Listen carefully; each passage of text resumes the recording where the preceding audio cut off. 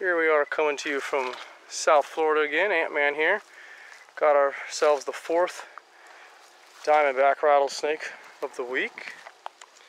See this guy's comfortably resting here on the edge of a hammock. Zoom in there.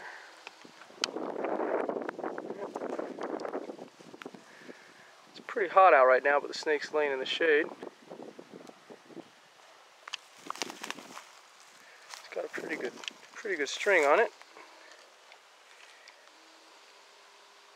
Snake is probably, I don't know, I'd say it's probably about four feet long, three and a half maybe.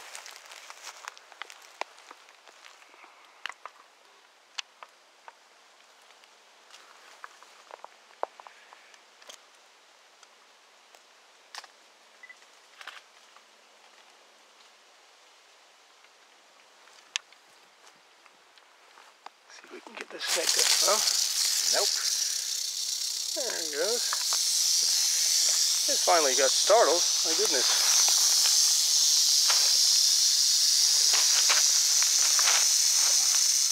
There we go.